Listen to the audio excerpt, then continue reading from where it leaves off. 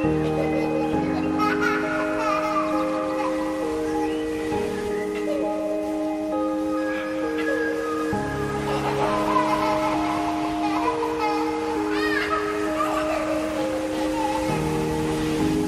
trouble is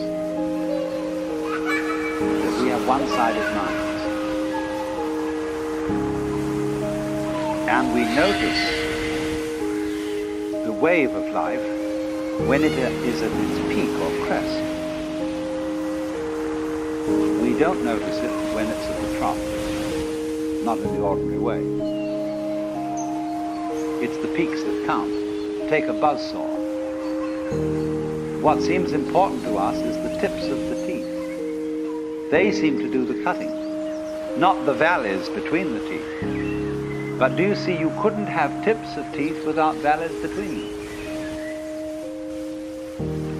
Therefore, the saw wouldn't cut without both tips and V-shaped valleys.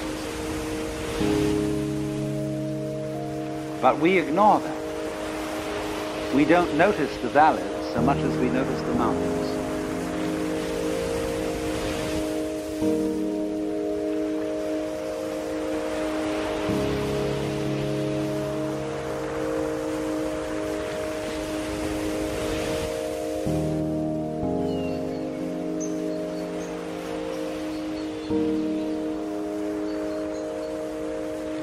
Thank